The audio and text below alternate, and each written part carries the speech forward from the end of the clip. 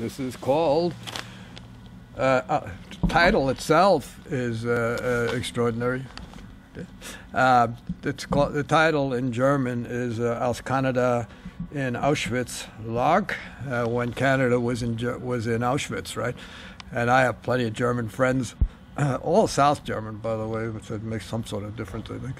But uh, they also, well, what the hell does that mean? You know, what does that mean? And then uh, you've got to read, uh, you know, the, the, thing in English, which is over there too. That's the uh, the English version of it. There's various volumes of that particular one with this number on it, 22040.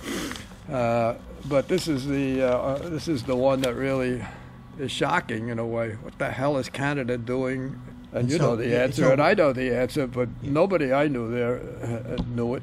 And it's a crucial part of the book, right?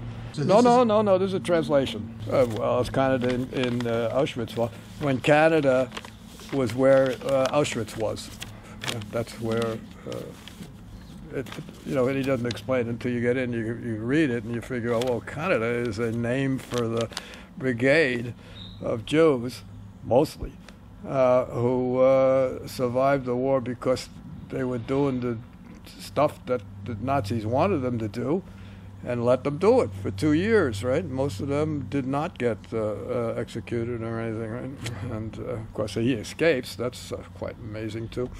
But this is about how the Canada Brigade uh, was one, and it also is about, and I'm sure Rudy would agree, uh, the fact that he expected anybody who uh, had the possibility of surviving rather than sent into a gas chamber to do almost anything to survive. He also had, uh, there were women there. Uh, well, you've read it, I suppose. I, I, must admit, I, I don't know whether I read it in German or in English.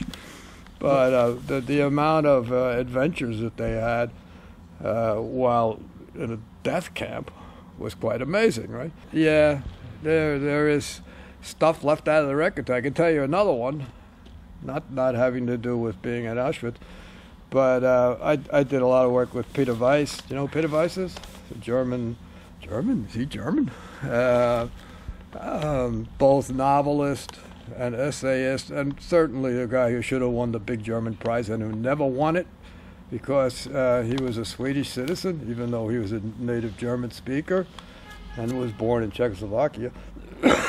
but but he uh, uh, uh, pointed out to me that I should have known. Actually, he has one uh, one play which is extremely successful, and it's based on the Nuremberg trials.